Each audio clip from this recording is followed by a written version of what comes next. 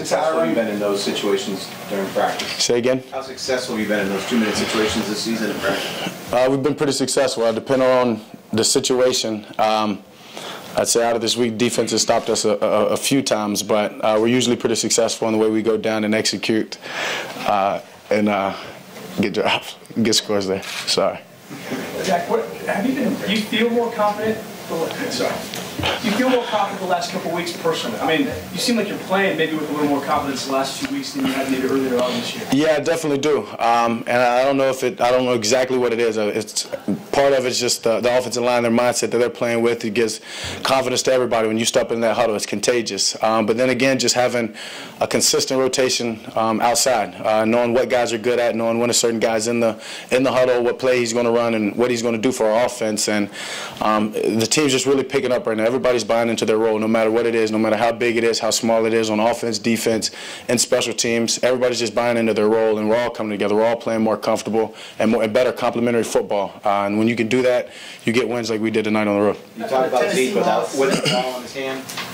Can you talk about his ability to pick up the blitz? I think he had a big pickup there on the pass to Gallup on third down. Yeah, I mean that's that- that's what Zeke's done since day one. Uh, Zeke's is a great pass uh, pass blocker and protection.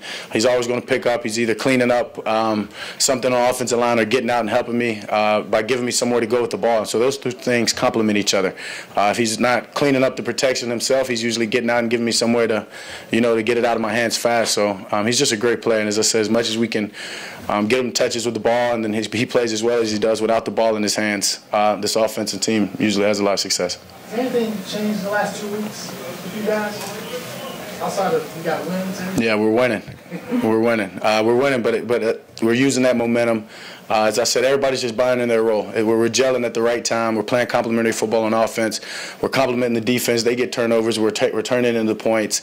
Uh, and when you do that, you give yourself a chance. And, and we know we're going to be in, in every game. So we have this mentality of, as I said, our back against the walls. Uh, and we're going to go score. We're going to we're going to win whatever it takes. Uh, and it showed tonight. You grew up a Cowboys fan. What what does the Thanksgiving Day game mean to you? I know it's early on, you just finished this one, but what does that game mean to you as a guy who's always followed the Cowboys and now you're part of it? Yeah, I mean, uh, it's humbling just to think I'm on this side of it. I mean, all the years of watching the Cowboys and eating Thanksgiving and then turning on the game, uh, now to play the game and then go eat Thanksgiving, uh, just a little different scheduling there. But uh, it's humbling. I know how important that game is and how big this game is, especially up, uh, coming up this week.